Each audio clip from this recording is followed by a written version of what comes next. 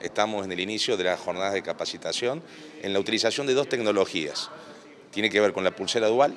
para poder dar cumplimiento a las órdenes de no acercamiento por parte de un agresor hacia una víctima en el caso de violencia de género y la segunda tecnología son las tobilleras electrónicas para cuando la justicia dispone eh, una prisión domiciliaria,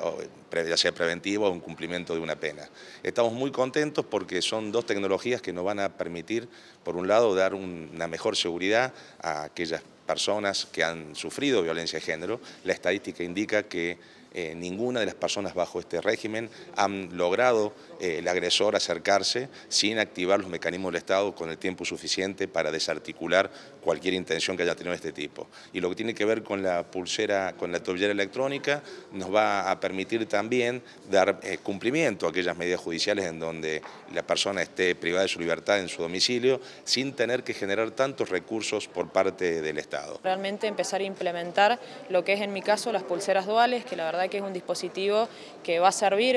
es una, política pública muy efectiva, que está comprobado, que ya hay otras provincias que ya la tienen. Me parece que esto cambia el foco de paradigma, dejamos de mirar eh, a la mujer nada más, sino que en este caso se pone, se pone el foco en el hombre, en quien ejerce violencia, en, una transformación cultural, en que la mujer pueda vivir realmente feliz, que pueda vivir dignamente, eh, más allá de las situaciones de, violencia que esté viviendo y que sepa que hay un gobierno provincial que acompaña, que, que tiene distintas herramientas que, para estar cerca. Es una herramienta, la verdad que permite supervisar una medida otorgada por la justicia las 24 horas, los 365 días del año, cosa que con ninguna otra implementación de ningún otro programa es posible. Así que es una tecnología que, viene a reducir costos y a generar mayores eh, confort de seguridad. Ha dado mucho resultado en relación a, por un lado, las bajas tasas de reincidencia en el delito, por otro lado, en relación a la mayor supervisión y control de las medidas otorgadas y, poder aplicar los protocolos en el caso que hubiese incumplimientos,